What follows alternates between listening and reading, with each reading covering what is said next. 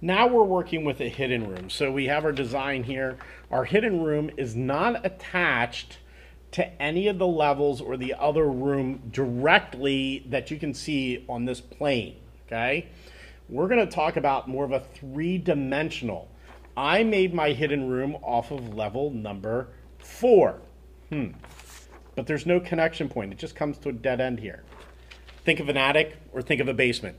This all is level one.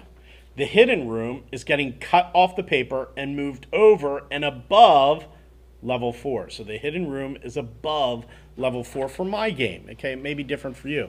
So I made a picture of this and let's show you it.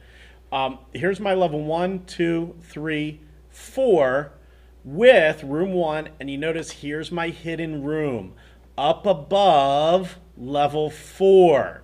Okay, so I tried to three-dimensionally represent, give you a representation, level one, two, three, four, room one. I cut out the hidden room and put it above level four. So it could be an attic door that we're using to get access to this hidden room. It could be a trap door in the floor if we're talking it's below.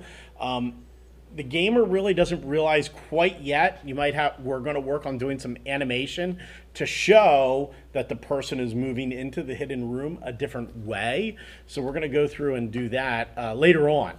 So let's work with this hidden room. Let's go back out, zoom out. All right, so if we take a look at this, we're going to duplicate the level that it came from. We're going to call it hidden room, and we're going to do basically the same thing. So I'm going to go back to level 4, right-click, duplicate.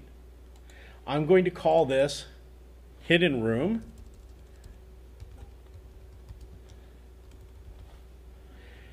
Now this is the area right here I want to keep. I need this as a reference for now. We might get rid of it later, but we want this as a reference for now. So I'm going to use the highlight tool. I'm going to highlight everything on my screen, but a small little bracket. So I'm getting rid of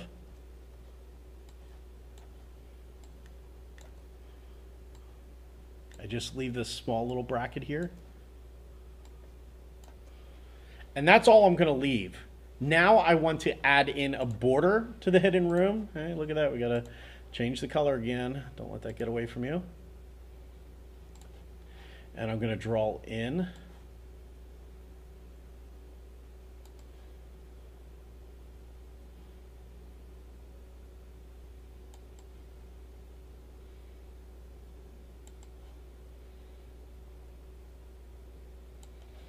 To paint bucket this in voila, there is my hidden room. So I would get access to it from here.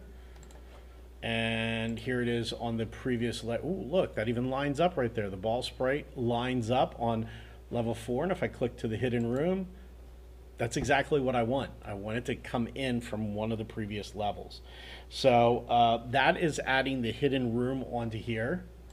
And next is going to be how we um, add a hidden room, lesson number six. Next will be lesson number seven. We got to create some labels for the levels and we're almost done with all the design work.